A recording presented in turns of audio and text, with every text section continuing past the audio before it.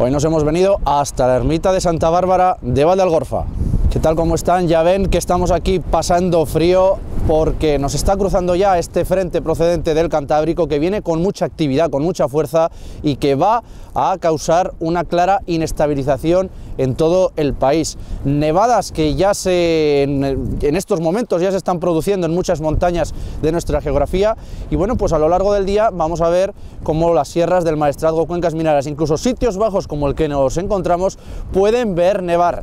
Va a ser una nevada muy testimonial porque este frente esta tarde-noche ya nos abandonará y dará paso a cierzo, a cielos despejados y a temperaturas muy bajas. Así que el fin de semana, quitando estas anecdóticas nevadas que estamos teniendo, que vamos a tener hoy, pues va a ser un fin de semana eh, soleado, seco y eso sí, muy frío. Mañana vientos importantes de componente cierzo, racheados, eh, fríos, con temperaturas muy bajas y el domingo pues más de lo mismo, temperaturas que seguirán bajando con esos vientos de cierzo, sol, ausencia de precipitaciones durante todo el fin de semana y como vemos pues este panorama inestable.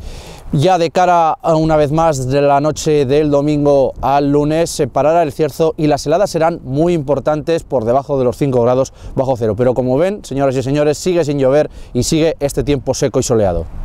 Y nos despedimos con un refrán que dice que en diciembre, día que viene templado, viene soplado. Significa que o hace frío o hace viento, aunque como ven ustedes, hoy tenemos frío y viento. Que pasen un feliz fin de semana.